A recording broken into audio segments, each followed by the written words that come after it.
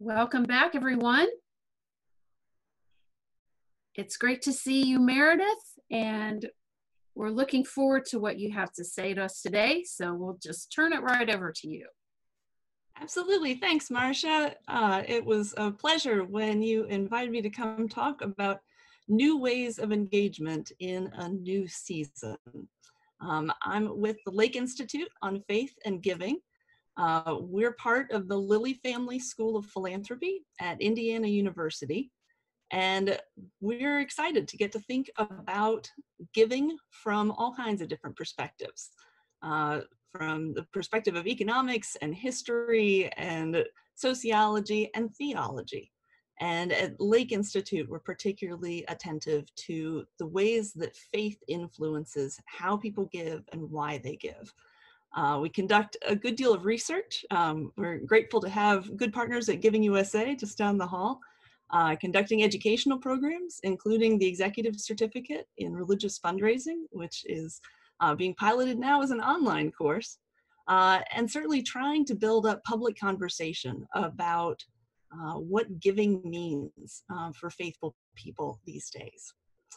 with the invitation to come talk about new ways of engagement, um, uh, my first instinct was to say, wow, you know, there's really nothing new under the sun. Uh, volunteer engagement, uh, donor engagement is still fundamentally about relationship building. And it's still fundamentally about offering something meaningful, something even holy. Uh, stewardship is discipleship, as everyone today has been reiterating, and as all of you have experienced in your own context what we do with our money and our time, with our lives. It's the literal embodiment of what we believe. Stewardship work is ministry work. Uh, and so, in this strange new season of ministry, I want to posit that the great news is that people in a season of isolation and upheaval, uh, people with questions of life and death on their minds, people who have a thirst for justice and peace all around us in our communities, what our congregations have to offer, or what they should be offering, in terms of relationships and meaning, has never been more in demand nor more in need. I uh, want to offer a few resources as we think about new ways of engaging people. Um, we want to think about who we're trying to engage with as we begin.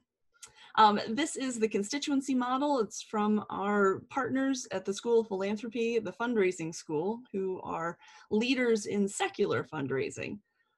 But I think that it's useful for congregational leaders to take a moment now and again and think about as if we were just regular nonprofits. What would we need to be thinking about? Uh, this model is a way to think about who we're trying to engage. Um, we are doing stewardship of members, uh, but also there are other constituencies than simply our church members. With this model, uh, starting at the bottom of the list or the center of the circles, uh, the model helps us think about who is closest to our organization, who is most closely connected to us, knows our mission, is living out our mission, uh, people who are super engaged. And then in the layers moving out from there, uh, in those concentric rings, who are the people who are less engaged?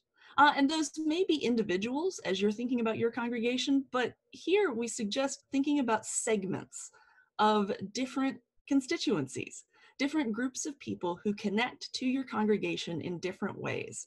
Uh, it can be a really useful exercise to try and map out who are those constituencies and what is their relative uh, engagement level with our congregations. Uh, especially in this changing season, we may have some hidden constituencies that we haven't previously been thinking about.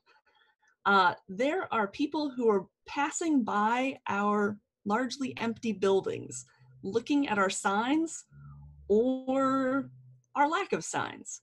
Is there a way that we can use our real estate even while we're not present in the buildings necessarily, to still be engaging constituency members like our neighbors. Uh, there's also, with an increase in our social media presence, our online worship, what about the friends of our members who observe our members interacting with us or uh, reflecting on what we've been doing? That's another point of engagement. Are we offering ways for folks to engage beyond just the members, just the people who we are aware of? This is also a time for us to notice the ways that uh, some of our segments of constituencies may have changed because of the pandemic times. Uh, preschool parents, people who connected with us through support groups, um, people who connected with us through ministry outreach. Uh, there are folks who may not be worshiping with us, but who are still a part of our constituencies.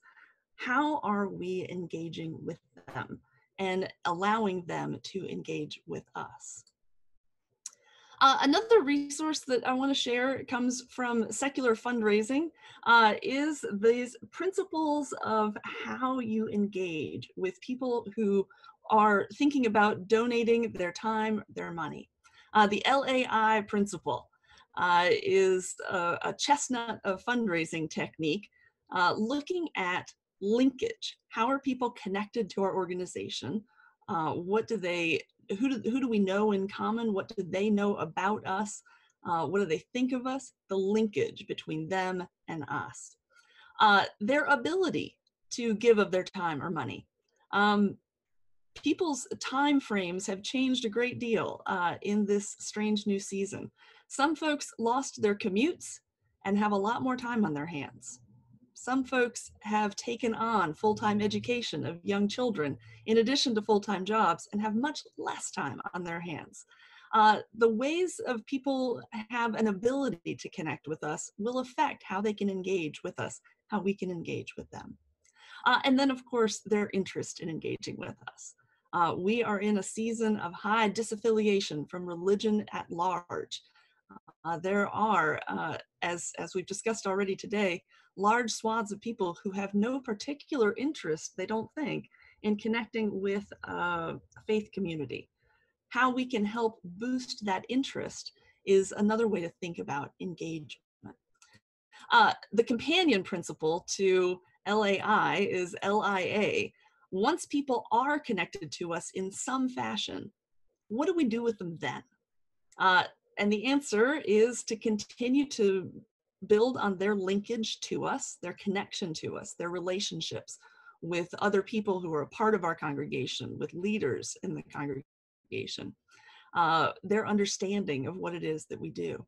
Uh, increasing their involvement. This is a tricky one at this season of, of the separation from in-person worship because of course it's difficult to invite people to some of the things that we're used to inviting them to. Uh, this is high season for Vacation Bible School, and it is not happening.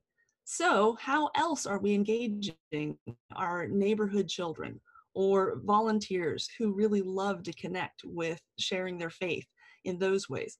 What are the translations we can offer for different kinds of involvement? Uh, and then finally, advocacy. This is something that we don't always think about, uh, except that in church world, we often call it evangelism. Uh, how are people who are connected to us advocating for the congregation or for the things that we espouse, the things that we value and believe in? Uh, this is another way that we can help people think about how they are building their engagement with us. Um, I want to suggest that as you're looking at all the segments of your constituencies, all of those uh, concentric circles, how are your attempts at engagement building on one of these principles um, of building linkage and interest, maybe even ability to connect, um, as we've done in trying to go online with more of our opportunities. Um, how are we building their involvement or their advocacy? what are we doing to empower them to connect with us in one of these ways? Uh, this can help give some shape to how we're thinking about um, what we do. And in a season where we might be kind of overwhelmed with all the many tasks, might help us winnow down what it is we actually have to do, what will be the most effective. Uh, thinking about what kinds of engagement matter the most uh, is really important in this season. Uh, and I wanted to bring this study conducted by uh, Dr. Barbara Fullerton. Uh, she worked in the United Church of Canada, where uh, congregations' financial disclosures are much, much more um, public and open than they are in the United States. And so she studied congregations that were thriving financially. And then she worked to reverse engineer them and to think through and, and do some ethnography to figure out what they all had in common. Uh, and she came up with these six best practices that they all had in common. Let me say, the congregations that she studied had on average an 82% per capita increase in giving over six years. A really significant um, increase in giving, and it wasn't because they were in boom towns. This was per capita. This was because these were practices that engaged people to really work in stewardship. Uh, number one, uh, as you see here, operational management. This is always essential. Uh, clarity of mission about what we are about as a congregation, effective communication of that mission, uh, realistic and faithful budget planning and communication, good governance, financial transparency, financial controls, all of those kinds of basic operational management system things do matter for people being willing to engage with us and able to engage with us. Uh, in these times, I'd want to suggest first of getting your website in order, making sure that that give button is clear and easy and a one-click operation as much as you possibly can. Uh, that you're sharing your narrative budget and telling people where the money goes, what the impact that your, their gift might have through your congregation. Uh, other things in operational management, uh, invitations to give in email and in social media forms. If we are used to relying only on Sunday morning passing a plate, then we are missing out now when there's no plate to pass and no one to pass it to. Uh, also, letting people know that you take their gifts seriously uh, working on our digital giving operations to make sure that they're secure and to communicate to people that we value their digital security as well as what uh, their intent is for their gifts. Uh, finally, there I want to suggest that thanking is a particularly important piece of this work. Um, how we might uh, increase what we do to thank our members and our donors uh, and to help them know what's happening um, in catching them being generous in some good ways. Uh, this shades into a couple of other best practices, but uh, one to leave here for now.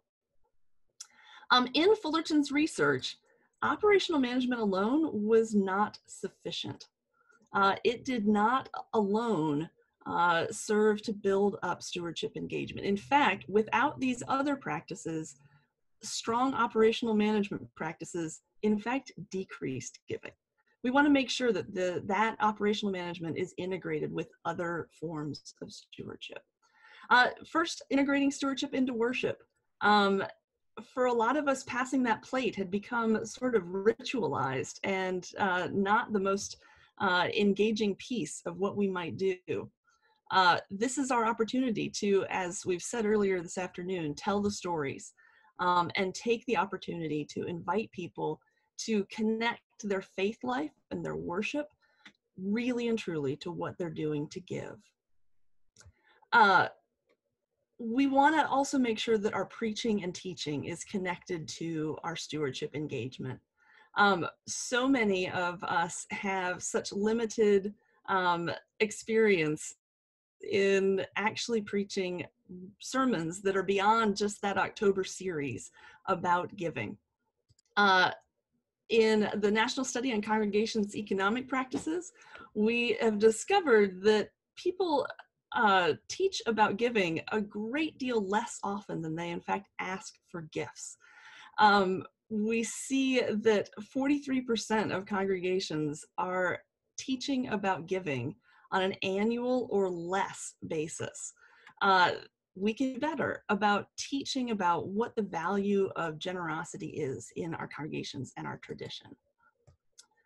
Uh, stewardship formation is incredibly important as we again think about so many people having been disaffiliated from religion, of folks not knowing that there is a real joy in giving, um, of not necessarily having discovered how much this matters. Uh, the, here is an opportunity for positive reinforcement, for catching people being generous and uh, inviting them to continue that work in meaningful ways. Um, sending real notes in the mail uh, helps us to praise the behavior that we want to see more of and helps people to grow uh, in being intentional uh, stewardship disciples. We know that approximately 40% of uh, givers in America to religion or any cause give impulsively. Uh, how we can offer them opportunities to do some of that impulsive giving but also to uh, continue to grow their practice to make that a more intentional uh, aspect of their discipleship. Uh, stewardship leadership matters here. And here is where that diversity of experience and thought matters so very much. Um, how we help people to uh, step up into leadership who see generosity in really different ways. Uh, we have different generations of givers, um, as we've discussed today, and also folks who simply give in really different modes. And our leadership teams have to be broad enough to encompass all those different ideas about giving uh, and those experiences so that we can invite people uh, to really connect meaningfully with giving through our congregations. Uh, spiritual nurture opportunities matter a great deal um, how we can help people connect their growing maturity in faith with what they do with their time and their money. These are questions of real discipleship and not simply of business operations or of obligation or of duty to the church. This is a place where we want to help people connect with their prayer life, with their moral identity, uh, with what it truly means to be a generous person in all the aspects of their lives, uh, both in the congregation and well beyond it. Uh, here is a place where a number of congregations work on financial literacy. Uh, and that's a, an important gift that a congregation can offer to its constituencies uh, to fill in those gaps of uh, personal financial management that people haven't learned uh, or simply need support and help to live into. But also how we connect that to those deeper practices of, of faith, of where our scriptural understanding uh, meets our wallets, uh, where our prayer life comes to comes to rest in what we believe and do. Uh, and finally, the last best practice that Dr. Fullerton observed was engagement with peace and justice work. Uh, as much as that may be controversial in some congregations, folks don't want to engage with a congregation that is not paying attention to the important questions that are on their hearts and in their lives. Uh, congregations certainly come out to some different answers about what they might want to do with those questions. But it matters that the congregation is willing and able to engage with these questions. Uh, this might feel a lot. Um, my, a number of my colleagues who are serving in parishes have observed that uh, pace is important and that exhaustion is real as you're trying to engage in the best practices and uh, become video production engineers and do all of those things all at once. And so I would want to turn to uh, a principle of abundance. Um, heard this from Dr. Williams absolutely as well. Uh, this sense of abundance, a sense of there being enough. Um, my colleague here in Indianapolis, uh, Reverend Mike Mather, wrote this great book, um, Having Nothing, Possessing Everything. But I love this quotation reminding us to look to where we're alive. Uh, if I might reference uh, Jurassic Park, life finds a way. And engaging people in the places where life is uh, abundant in our congregations is the place to start. Not with our deficiencies, but with what we have, what, what can we do to connect with all the different members of our different constituencies uh, in their different approaches to generosity. Uh, we have some opportunities at this point. Uh, I will look forward to getting to be with you in the Q&A uh, to get to talk some more about some of those experiences that you've had uh, and ways that we might uh, go even further into it. Thank you very much, Meredith. What a great presentation.